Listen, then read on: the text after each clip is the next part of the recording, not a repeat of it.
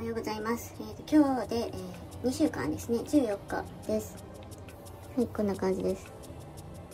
これでどういう風に落ち着いていくんかをちょっとまあ見ようかなと思ってます。あのー、そうですね。ちょっと薄い黒が気になりますけど、ちょっとこれでもうちょっとあのね、どうなっていくんか3週間目まで見ようかなと思ってます。はい、また撮ります。